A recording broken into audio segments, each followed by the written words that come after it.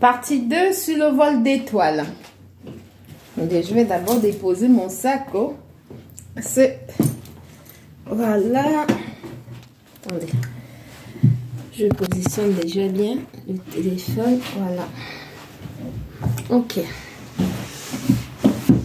Je vais déjà... Je vais m'asseoir. Voilà, voilà, voilà. Voilà. Je vous fais déjà la partie 2. Euh, il faut savoir que le vol d'étoiles, c'est quelque chose qui est fréquent. Euh, que ce soit ici euh, en Occident ou en Afrique, ça se passe. Il y a beaucoup de personnes qui ne vivent que à travers les étoiles des autres. En fait, ils passent tout leur temps à pomper l'étoile et l'énergie vitale des autres. Ça, il faut le savoir. Voilà. Le vol d'étoiles de destinée, c'est quelque chose, euh, vous allez remarquer que généralement les personnes qui sont euh, très haut placées, soi-disant qui ont réussi euh, dans la vie et qui sont qui ont une situation qui sont aisées matériellement et aussi financièrement et qui occupent euh, généralement soit des grands postes et tout. Ils sont généralement deux fois des têtes d'entreprise, euh, euh, des têtes d'administration et tout. Bref, des personnes qui, qui dans la vie sociale vraiment ont réussi. Vous remarquez que ces gens-là, ils ont toujours un ami ou bien un groupe de personnes qui n'est pas de, la même classe sociale qu'eux. Voilà. C'est pas pour rien, en fait. C'est pas du tout pour rien. C'est tout simplement parce que euh, la personne qui n'est pas euh, du, même rang social, de la classe sociale là où il se trouve actuellement, c'est de lui que vient l'énergie de l'autre qui est en haut socialement. J'essaie de prendre des thèmes un petit peu euh, légère pour essayer d'expliquer pour que ça puisse euh, rentrer, euh, pour que beaucoup puissent capter le, la nuance de ce que je suis en train de d'expliquer. En fait, il y a toujours quelqu'un qui qui pompe l'étoile de l'autre dans ce genre de relation là. Et vous remarquerez évidemment que ces personnes qui sont euh, soi-disant euh, euh, socialement riches et tout, ils sont très sollicités hein, généralement par des associations et des personnes démunies, mais ça ne les intéresse pas. Non du tout. mais tout à coup, soudain, brusquement, ils font des cadeaux à quelqu'un qu'ils ne connaissent pas comme ça. Non, c'est pas qu'ils ne connaissent pas.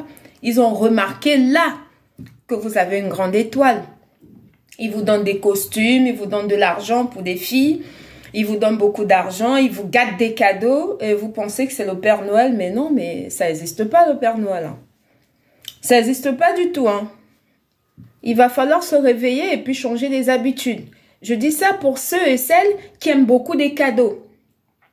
Voilà, il faut vraiment éviter des cadeaux euh, euh des cadeaux, vouloir toujours qu'on vous donne tout gratuitement là, mais rien n'est gratuit. Quand il vous donne comme ça, c'est parce qu'il récupère. Quand il parle avec vous, il récupère votre énergie vitale. Il essaie de prendre ici, même quand vous êtes protégé. Il essaye, il essaye. Quand il voit que il ne peut pas le récupérer ainsi et que soit ce qu'il a récupéré ne le suffit pas et tout, euh, il vous gâte des cadeaux pour des filles, c'est pour euh, passer à l'art charnel. Et pour les hommes, euh, pareillement. Voilà, vous vous dites que vous avez un ami près de vous. Oh non, je connais le ministre tel, je connais le président tel, je connais le directeur général tel. Mon œil, hein. mon œil. mon œil, vraiment, en fait. Parce que quand, quand tu as déjà le troisième œil ouvert, et tu vois ces choses-là qui se passent et que tu es un être de lumière comme moi, tu ne peux plus te taire en fait. Tu ne peux plus te taire de voir ce genre d'injustice et se voir ce genre de vol mystique qui se passe, que toi tu vois les choses clairement, on t'envoie le message, on te dit, il faut parler, il faut éclairer les autres. C'est ce que j'essaye de faire. Il faut éclairer les autres pour qu'ils puissent être, euh, voilà, sensibilisés par rapport à ce qui se passe. Donc voilà, il faut faire vraiment très attention euh, par rapport euh, à l'argent qu'on vous donne comme ça facilement. généralement, ils, font, ils font ces cadeaux-là aux êtres de lumière qui ignorent qu'ils sont êtres de lumière. Ils ne savent pas encore qui ils sont en fait. Voilà, ils vont vous donner des cadeaux. Tu vas dire, ah non, j'ai rencontré un monsieur, euh, il m'a donné ci, il m'a donné ça. Oh non, c'est un ami, il m'a acheté une veste et tout. Mais non, mais non, mais du tout. Il te donne son nom de quoi? Son nom de quoi? Tu penses que c'est pour tes beaux yeux qui te donnent ces cadeaux-là? Non, mais du tout. Ils sont sans scrupules. C'est des gens qui, qui ne font rien pour rien. Ils ne font du tout, ils ne font rien du tout pour rien. Hein. Quand ils vous donnent des cadeaux comme ça, c'est parce qu'il a déjà, soit il est en voie de récupération, soit il est en train de récupérer ton énergie. Et dès qu'il a récupéré ton énergie, il passe net. Donc, c'est comme ça qu'il fonctionne. Je vous disais tantôt également que ce sont des gens, pardon, qui pompe l'énergie vitale des autres. Donc, votre étoile de destinée, ils utilisent ça parce qu'il y a beaucoup qui sont euh, euh, haut placés, qui ne vivent que des étoiles des autres qu'ils ont pompées. Hein. Normalement, ils vivent la vie des autres. C'est pas euh, ce qui leur est destiné. Non, du tout. Ils pompent ici, ils pompent là, ils pompent là, ils pompent un peu partout pour, voilà, pour avoir un peu d'énergie et puis s'enrichir. Voilà, donc il faut éviter les cadeaux faciles. Les cadeaux faciles qu'on vous donne comme ça et tout, c'est pour vous pomper votre énergie. Hein. L'astuce que je peux vous donner, c'est éviter dans un premier temps, comme je, je me répète, mais c'est très important, parce que je vois que les mêmes questions reviennent, donc il faut que j'arrive à... Voilà. Il faut éviter la gratuité. Tout ce qui est gratuit, il faut éviter. Si quelqu'un te rend un service, il faut le payer par rapport à ce service-là. Si normalement euh, quelqu'un se propose de te rendre un service, il faut lui donner autre quelque chose en échange de ce service qui t'a rendu. Il faut que ça soit toujours donnant-donnant.